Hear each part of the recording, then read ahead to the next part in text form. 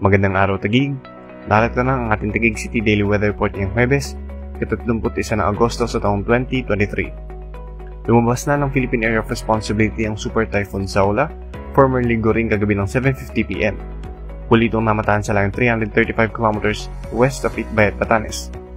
May taglay itong lakas ng hangin na abot sa 195 km per malapit sa gitna at mapabugsong abot naman sa 240 km per hour. Kumikilos ito sa direksyong west sa bilis na 20 km per hour.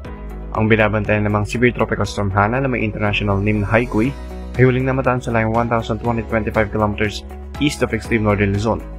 May taglay itong lakas ng hangin na abot sa 95 km per malapit sa gitna at mapabugsong abot naman sa 115 km per hour. Kumikilos ito sa direksyong west-southwest sa bilis na 20 km per hour. Base sa latest forecast rock mula sa pag-asa, mananatiling malayo sa ating kalupuan ng bagyong ito at hindi inaasang makakapekto ng direkta sa ating lungsod. Ang mga nabanggit na weather system ay walang direktang epekto sa ating lungsod, subalit pinapalakas nito ang southwest monsoon o hanging habagat na siyang nagdadala ng katamtaman na may minsang malakas na busong ulan sa ating lungsod.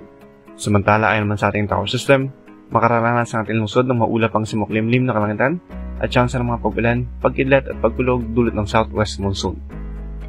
Maaaring umabot sa 37 degrees Celsius ang ating maximum heat index ngayong araw at inaasa naman na maglaro sa 9 to 30 km per hour ang hangin magagaling sa west-southwest. At yan ang latest sargan pa para sa araw na ito.